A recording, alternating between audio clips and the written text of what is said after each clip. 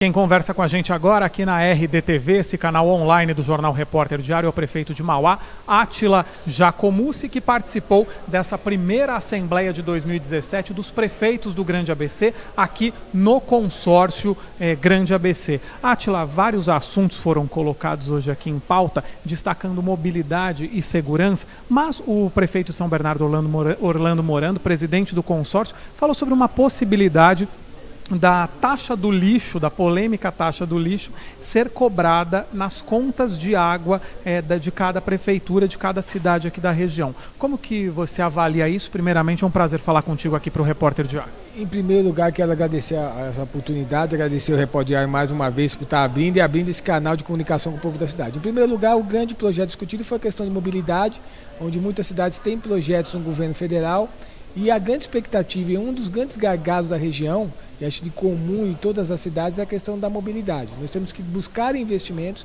até porque muitas das vezes o capital municipal não consegue cobrir esse, é, esse, esse, grande braço de investimento, nós temos que buscar recursos no governo federal.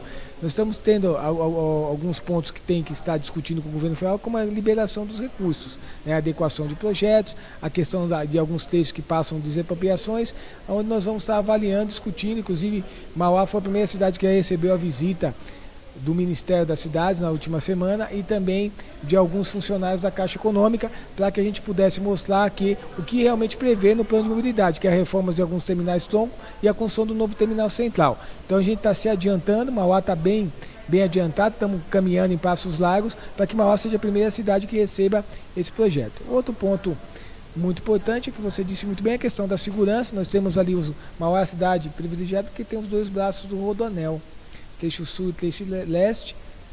É uma evolução, né? Mauá ganha com isso, mas traz alguns problemas, como a questão da segurança. Nós queremos discutir aqui com o secretário de Estado, Magno Alves, né, o investimento do Estado na questão, principalmente nas áreas de divisa de municípios, principalmente com a divisa da cidade de São Paulo. Ali nós temos o bairro do Jardim Paranavaí, Nova Mauá, com o Jardim Santo André, que é um dos primeiros bairros da Zona Leste. E ali nós estamos tendo arrastões dentro do, das áreas que circundam o Rodoanel. E hoje a nossa Guarda Municipal está tendo um esforço muito forte, a Polícia Militar faz o que, faz o que pode, mas nós temos, nós temos que lutar para que a Secretaria de Segurança tome uma ação mais incisiva e nós vamos estar cobrando, dialogando com o secretário. E sobre essa taxa, é, a cobrança da taxa do lixo nas contas? Em primeiro lugar, né, não, é uma coisa que Mauá não passa, essa discussão não passa Mauá, até porque nós não temos a taxa do lixo na não cidade. Tem não tem. Até porque essa taxa do lixo foi discutida na, na gestão anterior do PT, onde o ex-prefeito Donizete Braga quis criar a taxa do lixo, né?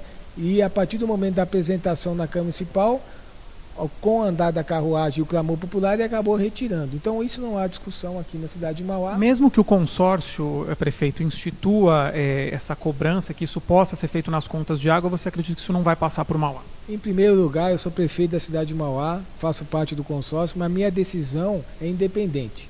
Né? Como eu disse aqui para os nobres colegas seus, um político tem que ter lado. E meu lado é governar para o povo da cidade, que é melhor para a situação. Nós temos que avaliar as tendências hoje socioeconômicas que o país vive. Hoje se discutir criação de taxa, onde hoje nós temos a região com o maior número de empregados, é uma discussão que não é, não, não, não pode ser levantada essa pauta nesse momento, até porque nós temos uma grande crise financeira que nós temos que realmente domá-la com muita cautela e muita sabedoria.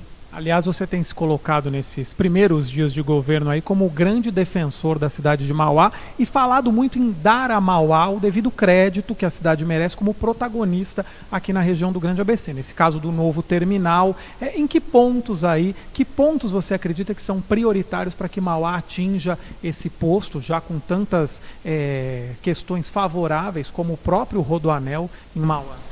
Primeiro, nós temos, acho que a grande missão minha é recuperar a autoestima do povo da cidade. Né? Mauá tem que ter a grandeza que a, que a cidade tem. Mauá é uma cidade que pode receber indústrias, pode ter um capital de desenvolvimento.